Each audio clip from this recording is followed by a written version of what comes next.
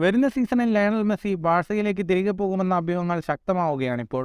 Lionel Messi P S ജിയുടെ ഓഫറുകൾ നിരസിച്ചതാണ് ഈ വാർത്തകളുടെ അടിസ്ഥാനം. അടുത്ത വർഷത്തെ കോപ്പ അമേരിക്കയിൽ കളിക്കാൻ ആഗ്രഹിക്കുന്നതിനാൽ ഒരു സീസൺ കൂടി യൂറോപ്പിൽ കളിക്കാനാണ് മെസ്സിയുടെ തീരുമാനം. പി എസ് ജിയിൽ തുടരുന്നില്ലെങ്കിൽ ബാഴ്സലോണയല്ലാതെ യൂറോപ്പിൽ മെസ്സിക്ക് മറ്റ് സാധ്യതകളില്ല.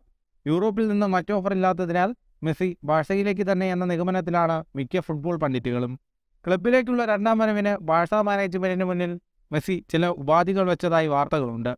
ബാഴ്സയിലേക്ക് തിരികെ എത്തിയാൽ മെസ്സി ഏത് പൊസിഷനിൽ കളിക്കുമെന്ന കാര്യവും ഇപ്പോൾ ആരാധകർക്കിടയിൽ വലിയ ചർച്ചയായി കഴിഞ്ഞു. ഇക്കാര്യത്തിൽ വാഴ്സ പരിശീലകൻ സാവി ഒരു പ്ലാൻ തയ്യാറാക്കുന്നുണ്ടെന്നാണ് പുതിയ റിപ്പോർട്ട്. സ്പാനിഷ് മാധ്യമമായ മുണ്ടോ ഡിപ്പോർട്ടീവയാണ് ഇത് സംബന്ധിച്ച വാർത്ത നൽകിയിരിക്കുന്നത്. മെസ്സി ബാഴ്സയിലെത്തിയാൽ സൂപ്പർ താരത്തെ മിഡ്ഫീൽഡിൽ കളിപ്പിക്കാനാണ് സാവിയുടെ പദ്ധതി. വാൾസ് ലെഫ്റ്റ് വിങ്ങറായോ? മധ്യനിരയിൽ വലതുവശത്തോ മെസ്സിയെ കളിപ്പിക്കാനാണ് സാധ്യത. മിഡ്ഫീൽഡിലെ റൈറ്റ് സൈഡിൽ നിലവിൽ പെട്രിയാണ് കളിക്കുന്നത്. ലെഫ്റ്റിൽ ഗാവിയും.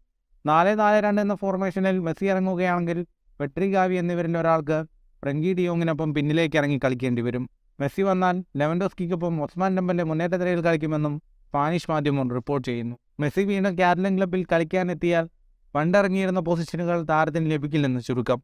ബാഴ്സയിലെ മുൻ താരവും അടുത്ത സുഹൃത്തുമായ സാവിയുമായി മെസ്സി നിരന്തരം ആശയവിനിമയം നടത്തുന്നുണ്ടെന്നാണ് റിപ്പോർട്ടിംഗ് ഫുട്ബോൾ ലോകത്തെ കൂടുതൽ വാർത്തകൾക്കും വിശേഷങ്ങൾക്കുമായി സ്പോർട്സ് കഫേ പോൾ തന്നെ സബ്സ്ക്രൈബ് ചെയ്യുക.